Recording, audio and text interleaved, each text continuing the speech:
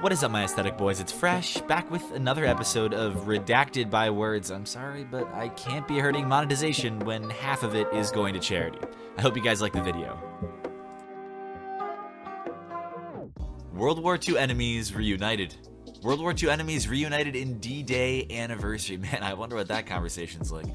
The Nazis probably sounding like, Your mixed race grandson twerks at gay pride parades. Was it worth it, Henry?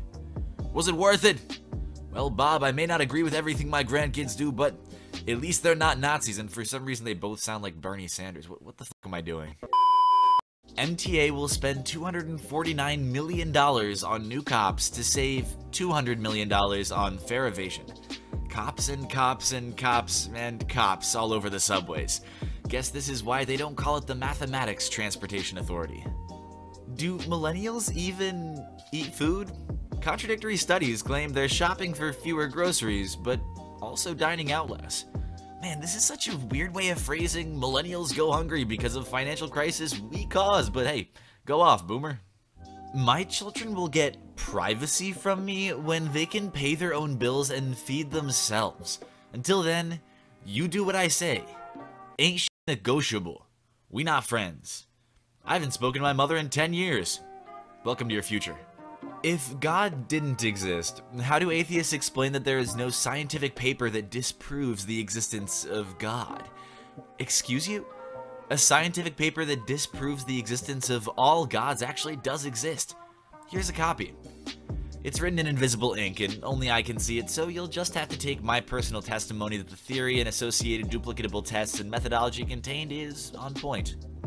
Boy, if that's the logical bar we're setting for verified existence, I'm not saying I'm God. I'm just saying you've never seen me and God in the same room together. I'm, I'm just saying. Uh, why do people say that books like Twilight and Fifty Shades are poorly written? What specifically in the books is poorly written to you? There's a very basic test for whether characters are written decently, at least. Pick a character at random from the book or movie or TV show and try to describe them without mentioning their name, giving a physical description, or talking about their role in the story. In other words, try to describe their personality. Can you do it?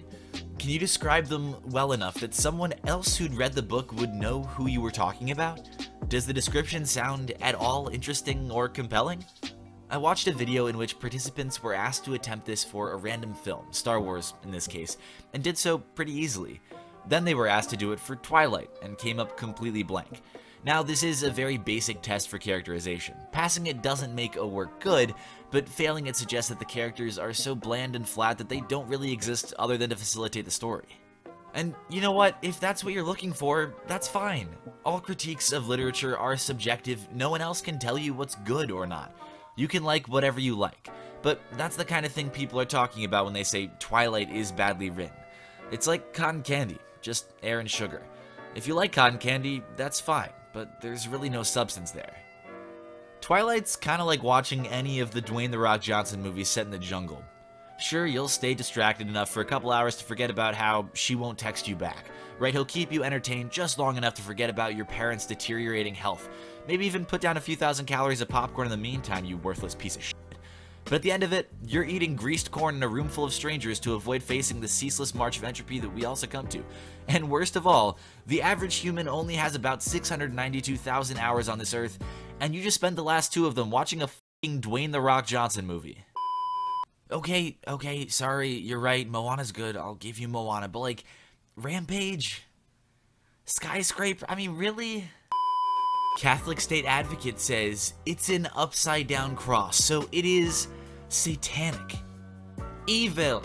Evil. Yeah, the upside down cross, aka the cross of St. Peter, is a Catholic symbol. Why is it so unsurprising every time Catholic Twitter demonstrates ignorance of their own religion? That's the Huntress from Dead by Daylight. I did a cosplay as her a couple months back. Oh, that's neat. I don't know what that is or what it's from, but it's a cool costume that looks like she took a lot of time to make. Yeah, you dressed up. Cosplay isn't a real word, you f***ing nerd. I mean, it is, but whatever. Anything to be a dick, right? It's alright. He's in the Navy. That's like cosplaying someone in the real military. Wow! I don't know the context of this because I'm not in the army, nor do I know a lot of people in the army, so I don't really know the dynamics that go on between different branches of the U.S. military, but holy shit, that's amazing! Was Apollo 11 faked? In the 1990s, Bill Clinton and Monica Lewinsky were alone in the Oval Office. They had a consensual sexual relationship. Where is this going, Quora? Where is this going? Within two years, everyone in the world knew about it. Two people couldn't keep a secret about a blowjob that nobody cared about. Think about that. If the government can't even hide a beach that only two people were involved in, what makes you think they could hide a moon landing when the entire world was watching and our international rivals had a very good reason to expose any deception? Breaking news. Ronald Reagan Presidential Library has fires burning on both sides. Tune in. Wow, that's, that looks bad. What are we gonna do? Ah, just leave it. I'm sure the water being used to put out other fires will trickle down to there eventually. I see what you I see what you did. That's that's good. I see what you did there. That's that's pretty good. Someone made an 11 hour response to my Joker video. Oh my god. Oh, holy shit. Someone said something I don't agree with, so it must be about the video I made. Yeah, okay. Yeah, you know, I thought it might be a response to me because they put my face in the thumbnail and titled it Response to Jenny Nicholson. That's what clued me in. Boomer is the N word of ageism. Being hip and flip, hip and flip. Really, you said a hip and flip and expect not to be called a boomer? Uh, anyhow, being hip and flip does not make bigotry okay, nor is a derisive epithet acceptable because it is new. It's not acceptable because it's new, it's acceptable because it's funny. Saying your generation's official name is the equivalent of the most heinous racial slur in America is some real boomer shit, my guy. Well, folks, like John Mulaney always says, if you're comparing the badness of two words, and you won't even say one of them, that's the worst word. Serious question. Do females ever think, damn, he been through a lot. Let me fix him. Mmm. Yeah, with that fist sign. Let's go, baby. Uh, do males ever think, damn, I've been through a lot. Maybe I should seek a licensed therapist who's an expert helping me piece myself together instead of putting my emotional labor on a woman I'm in a relationship with because that's not her job. But bro, you're literally a package delivery guy, as if that's something to be proud of, Lamau. It actually is. Don't be a dead. You should be absolutely ashamed of yourself for trying to put down someone's profession, especially if the position is unionized and gets great pay and benefits UPS, or tenured government jobs with amazing benefits and pay USPS. Mail carrier is an amazing career to have if you can work your way up. Any job is better than no job, and you trashing someone for working says a lot about yourself. Be it an office job or mopping McDonald's, every job where someone is trying to make money honestly deserves respect. You look like an idiot. Delete your comment. Tesla CEO Elon Musk trades compliments with Volkswagen CEO at Auto Award Show. Man, Musk looks travel stained, hardworking. Volkswagen CEO looks comfortable and relaxed. Well, Germany is much closer to Germany than California. I don't know. Let's run the numbers in that. Check the map. Looks like uh, California is about 9,079 kilometers away from Germany. And Germany is, oh, look at that, right there. The first step to reducing your emissions is to know where you stand.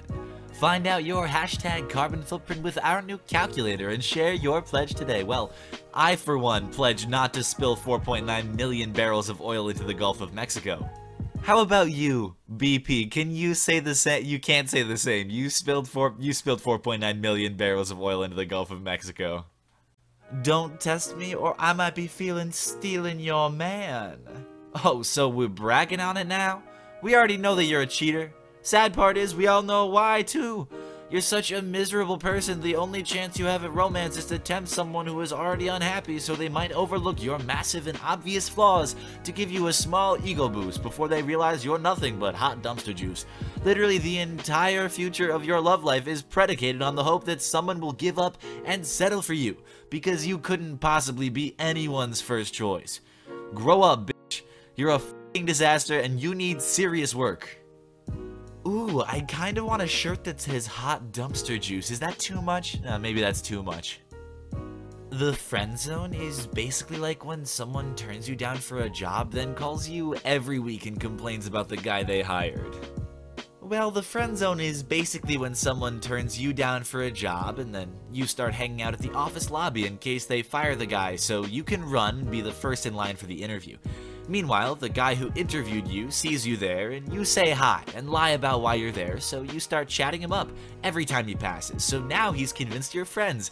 And every time he says something about the guy he hired, you think, yes, my plan is working, only to be disappointed when they keep employing that asshole. Why can't they hire me instead? I'm a nice employee, trademark, while ignoring the fact that you're basically an unemployed bum that hangs out in an office building lobby, stalking. Hashtag sorry, not sorry thank you